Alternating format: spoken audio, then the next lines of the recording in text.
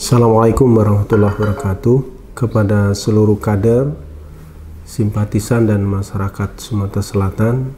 Alhamdulillah proses pemilu kada di Sumatera Selatan yang dilakukan di Kabupaten Musi Banyu Asin berlangsung damai, uh, lancar dan insya Allah menghasilkan pemimpin yang memang ditunggu oleh masyarakat Mubah.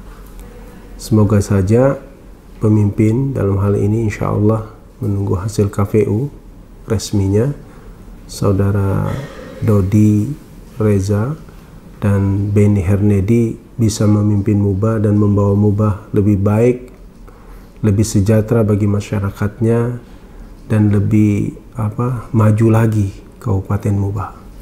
Klik like, share, dan jangan lupa subscribe